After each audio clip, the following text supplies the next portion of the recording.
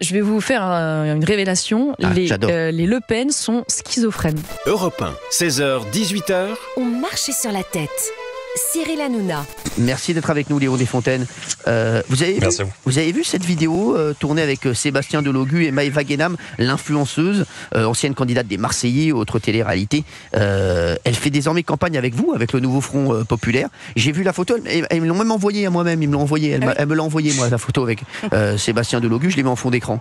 Euh, sur ses réseaux, elle déclare fièrement Je suis avec le Big Boss, euh, qui n'est autre que le très controversé euh, Sébastien Delogu. Euh, Qu'est-ce que vous avez pensé de ça? Bah, quelle époque? Quelle Oui. époque nous sommes en train de vivre? C'est vrai que c'est incroyable. C'est Non, vraiment mais- le mot. Vous avez raison, C'est- Léon Desfontaines. C'est quand même assez assez impressionnant ce qui se passe depuis euh, depuis quelques jours, même depuis quelques heures, si je puis me permettre. Mais la vie politique euh, s'accélère euh, s'accélère grandement.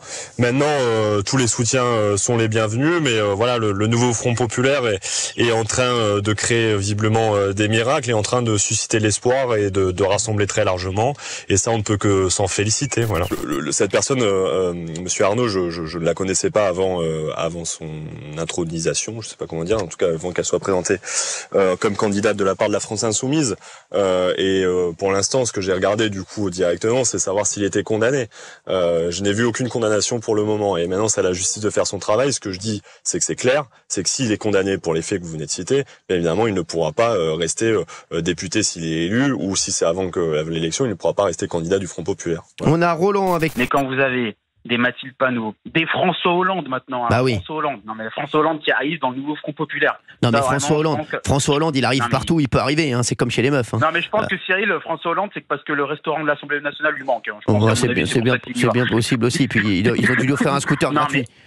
Ouais, exactement. Mais et, et j'ai un dernier message à faire passer, si vous me le permettez. Avec plaisir. C'est vraiment, c'est les voilà l'atmosphère médiatique de, de ces derniers temps, où tous les électeurs qui ont voté Rassemblement National sont d'extrême droite.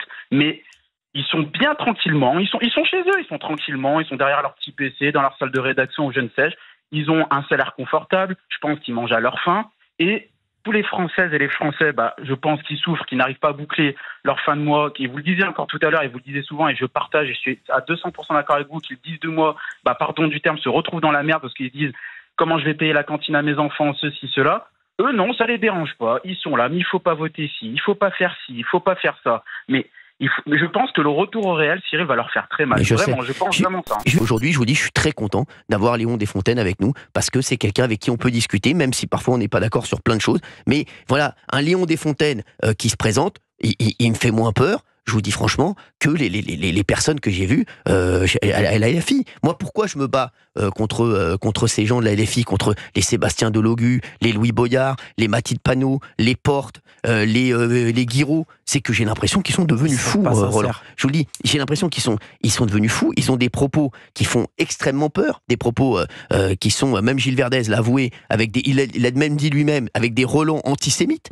Euh, ils ont eu un comportement depuis le 7 octobre qui est euh, franchement, qui n'est pas acceptable. David qui Guiraud, n'est pas acceptable. David Guiraud est devenu fou, euh, je vous le dis. Donc forcément, moi, ces gens-là euh, euh, me font peur. Je vous dis franchement, mais quand j'ai un Léon Desfontaines avec qui je peux discuter, eh ben je me dis, oui, il y a des gens de, de, de qualité aussi. Euh, D'abord Qu'est-ce que vous en l'ambiance, pensez? Mais moi je pense que c'est la, c'est, c'est de la sagesse. Ce qu'il a dit là, Ouais, c'est de la sagesse. C'est de la sagesse. Et d'abord, les gens vont aller voter. Ils n'ont pas besoin d'Adrien Rabiot ou je ne sais qui pour aller voter. Ils ont été votés. Il y a eu plus de, de votes que, que les fois d'avant. Et moi, j'en ai eu marre, moi, ces derniers temps, de voir des Thuram, des Bappé, des Noah, des Bartoli, tous ces sportifs, tous ces privilégiés qui sont pas, qui sont pas en France. Yannick Noah, Yannick Noah. Je prends juste Yannick Noah. Il était là quand il y avait euh, Le Pen, Chirac. Il était là en 2002. Il est parti dans la rue. Moi, je suis parti dans la rue manifester parce qu'on avait pris un coup derrière la tête quand on avait vu que Le Pen était au deuxième tour. Jean-Marie Le Pen était au deuxième tour. Et Yannick Noah, pour remercier les gens d'avoir manifesté dans la rue, qu'est-ce qu'il a fait? Il s'est barré aux États-Unis. Il a abandonné la France. Il s'est tiré avec, avec son argent et tant mieux pour lui. Il s'est barré. Et tous ces mecs-là, tous ces mecs-là, les Bappé, les Noix qui donnent des leçons, ils sont pas dans la réalité des. Français. Ils sont pas dans la réalité des Français. Ce qui me trouble, ce qui me m'attriste, évidemment, évidemment, c'est cette petite fille. Je suis désolé pour ceux qui vont dire oui, euh, ça fait deux jours qu'on en parle. Ah, non, eh non. ben oui, ça fait deux jours qu'on On en dira parle. pas ça.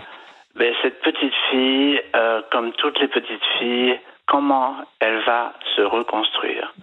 C'est ça qui me, qui me, vraiment que mon cœur, mon cœur pleure à l'intérieur.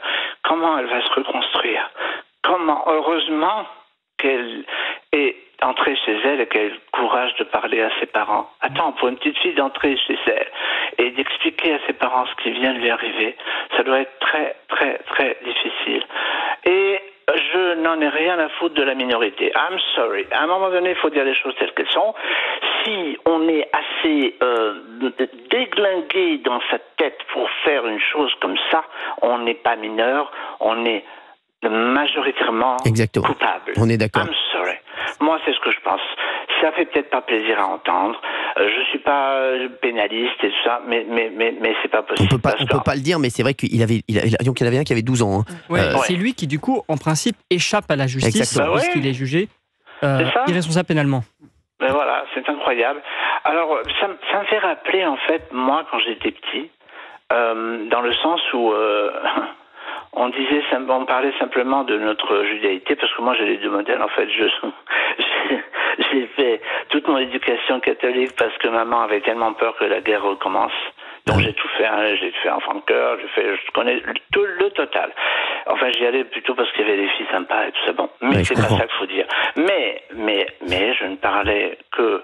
D'abord, je parlais à personne. Je parlais de ça à Nicole ce matin. Je parlais à personne de ma judaïté.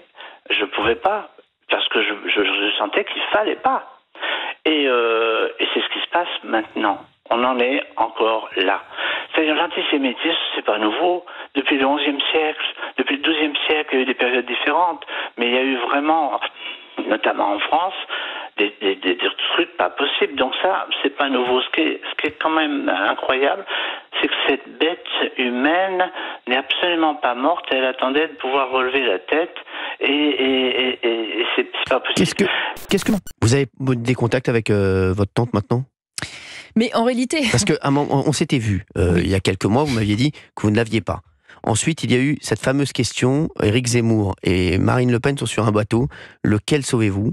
Et en rigolant, vous oui, m'avez bah, dit, vous m'avez pas arrangé les relations avec Eric Je à ce moment-là. Je, je vous en remercie. hein. Ça a peut-être été le déclencheur. Oui, le, le déclencheur. J'aurais dû dire qu'ils savaient tous les deux nager et puis qu'ils se démerdent parce non, que. mais, non, non, mais et- et- et est-ce que, est que maintenant vous l'avez plus au téléphone? Est-ce que maintenant vous parlez régulièrement? Alors, je vais vous faire un- une révélation. Ah, les, euh, les Le Pen sont schizophrènes. Voilà, Ah, donc vous savez, chez nous, on a une vie publique et on a une vie privée. Donc on peut, dans la vie publique, être euh, concurrent euh, politique, euh, voilà, ne, ne pas s'épargner les choses, faire valoir les, les- les divergences. Et dans la vie privée, eh bien, on garde des liens, une affection, une tendresse, une communication. Et donc on, ça fait longtemps déjà avec Marine qu'on a gardé des liens sur le plan familial. Parce que vous savez Voilà. ce qui se dit dans le camp, dans le camp Reconquête? Il se dit, de toutes les façons, elle, elle aime trop sa tante. Et elle voulait absolument aller la rejoindre. C'est une affaire de famille. Oui, mais c'est ce que je dis, on ramène à, quelque chose d'affectif et de familial, ce qui relève de la divergence euh, politique. Maintenant, oui, excusez-moi, je, oui, j'aime ma tante, oui.